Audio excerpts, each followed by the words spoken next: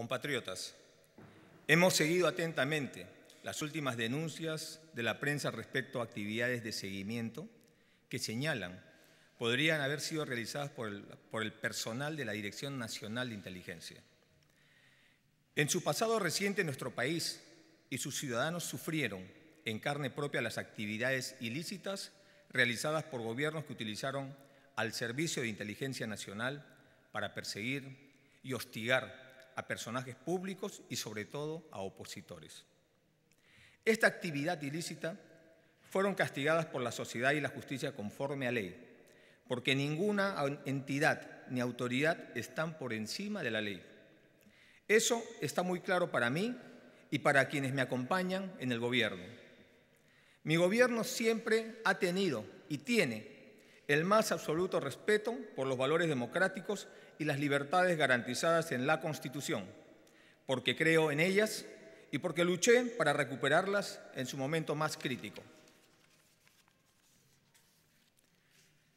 En todos los actos que precedieron a mi postulación a la presidencia de la República y hasta el día de hoy, jamás he traicionado el compromiso democrático que me hizo incursionar en la política. Acusaciones de coactar la libre expresión o realizar actividades proscritas de seguimiento a opositores no tienen cabida en mi gobierno. En cuanto al supuesto seguimiento a la vicepresidenta de la República y compatriota Marisol Espinosa, rechazo tajantemente que ello se haya producido. En aras de la transparencia, he dispuesto que el plan de inteligencia desarrollado en esa zona, en el cual ha participado personal de la DINI en estricto cumplimiento de su función, sea expuesto en detalle a la Comisión de Inteligencia del Congreso de la República. Somos los principales interesados en aclarar estas denuncias. Es por eso que he dispuesto la inmediata y total apertura de las puertas de la Dirección Nacional de Inteligencia, DINI, a las investigaciones que tengan a bien hacer el Congreso de la República y el Ministerio Público. Esta apertura incluirá un amplio acceso a la información clasificada pertinente. Adicionalmente, he dispuesto que todas las autoridades que tienen responsabilidad en el funcionamiento de los órganos de inteligencia presten las facilidades para el desarrollo de las investigaciones y, de ser el caso, se apliquen las más drásticas sanciones.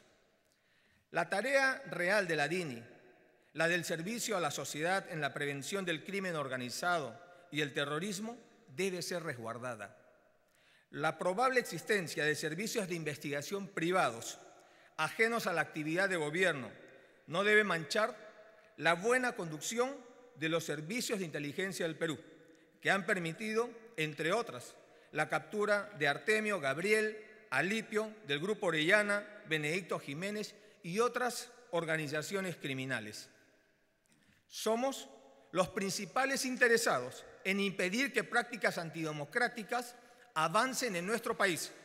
Estamos aquí hoy para reiterar que nuestro gobierno no aprueba ningún acto que ponga en peligro los principios de la democracia y el derecho. El mantenimiento de la democracia no es, negociable y sus valores están por encima de cualquier gobierno. Muchas gracias.